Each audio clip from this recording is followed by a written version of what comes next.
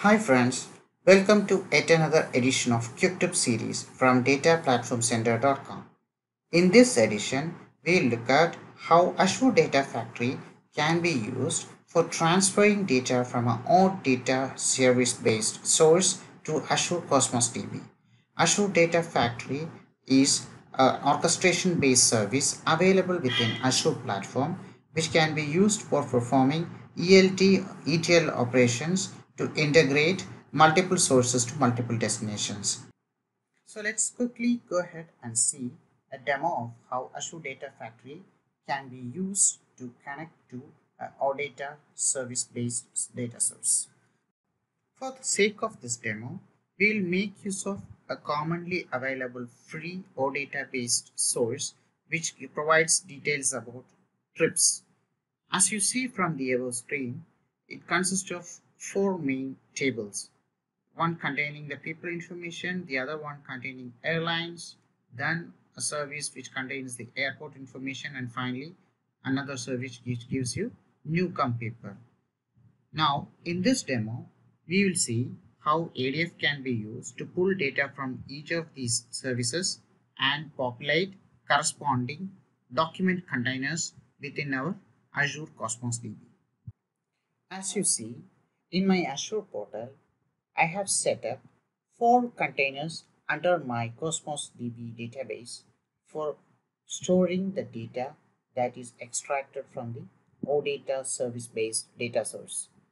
Each of these containers corresponds to the entity set of data which is coming from OData service source.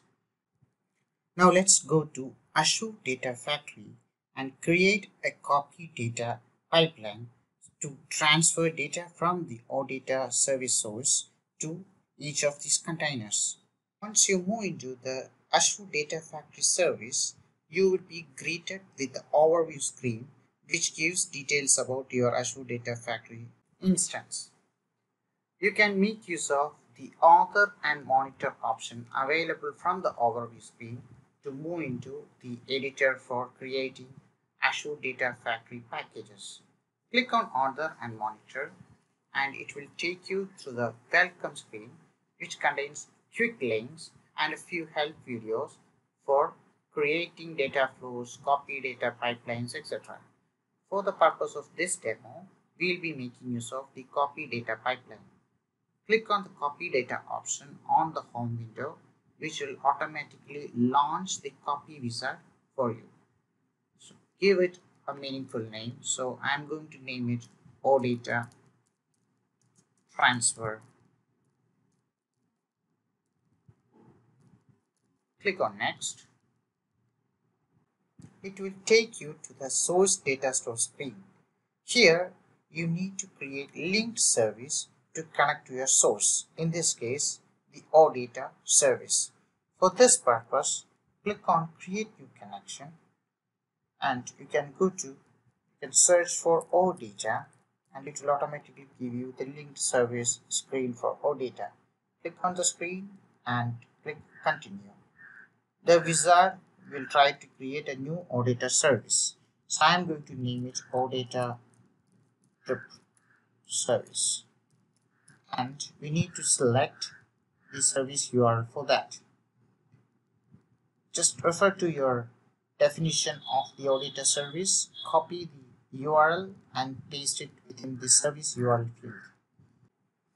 We shall use anonymous authentication in this case because this is a free and generally available service and doesn't require any special credentials.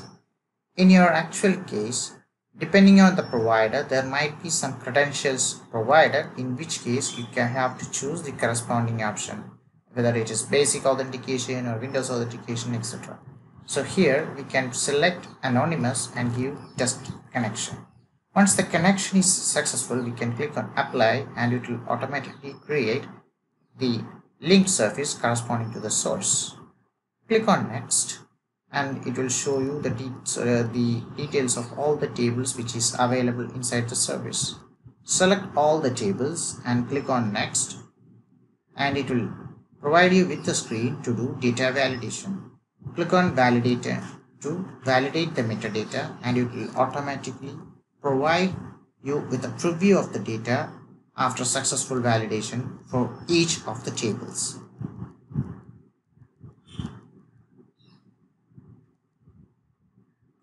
Once you have done it for all the tables, you can go ahead.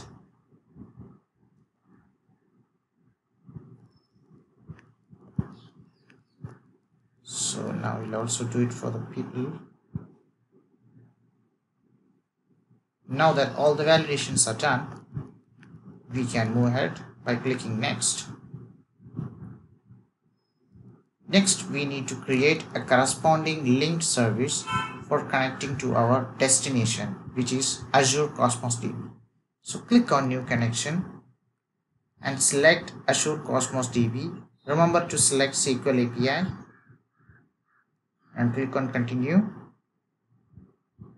Correspondingly, a wizard will come asking you to fill the details for your Cosmos DB. So I'm going to do this like Cosmos underscore trip data.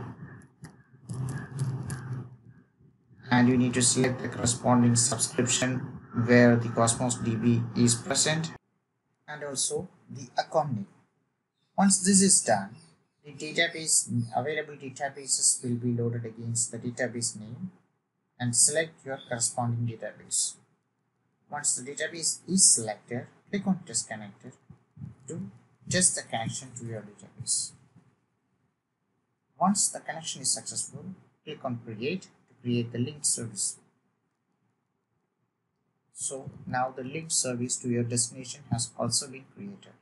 Now that the source and the destination linked services are created, the next step is to do mapping between the tables. In the mapping screen, you will see that the source entity set from OData service will be automatically mapped against the corresponding containers you have set up inside your Cosmos DB. This is done by virtue of the names because you have used the same names on both places.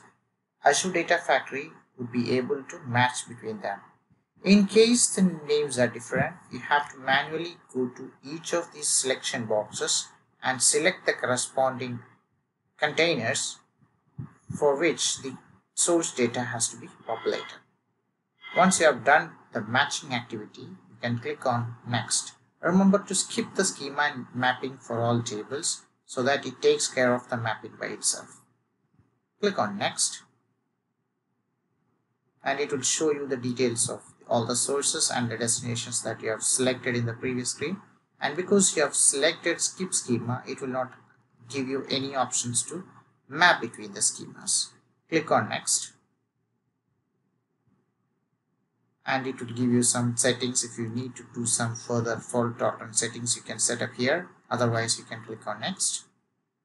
I'm leaving it to the default values. And then it will give you a highlight of what all settings you have done then click on next and it would automatically do the validation of the pipeline. It will create the data sets it will create the pipeline it will run the pipeline. For each of the stages you can see the progress by means of the green tick. So once the green tick is done means that the stage is completed and it moves over automatically to the next stage. So as you see from the screen now it has started running your pipeline.